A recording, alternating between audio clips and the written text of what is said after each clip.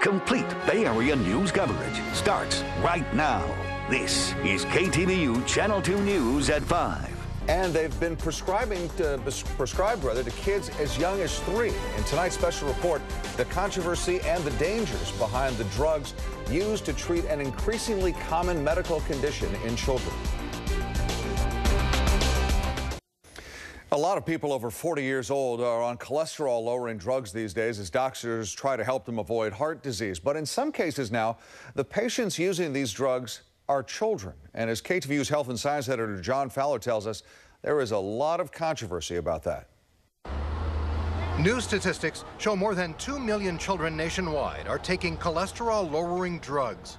I think people would actually be shocked by the number of children who have high cholesterol. CPMC pediatrician Nadine Burke says she sees it in kids as young as three. For most, it's linked with obesity and diet. With the kind of foods that are available, it's, it's, it takes a lot of diligence. I think it's pretty tough to, you know, kind of keep kids on the right path. The drugs are Lipitor, Crestor, and others, known as statins, the world's most prescribed medications. It seems like uh, doctors are quick to prescribe medication. Too quick? Yeah. The latest pediatric guidelines call for cholesterol screening by age 10 and statins for some at-risk kids as young as 8. Some parents pressure doctors for pills easier than diet and exercise.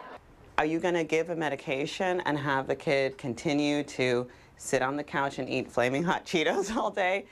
The drugs cause the liver to remove extra cholesterol from the blood. Patients are usually on them for life. No one knows what would be the consequences of a child beginning a drug like that at the age of 15.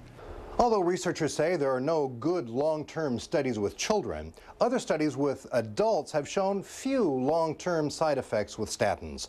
So why not prescribe them more freely? It could save many lives. Statins can be very effective uh, when the need is there, but uh, too often uh, they're seen as a magic bullet.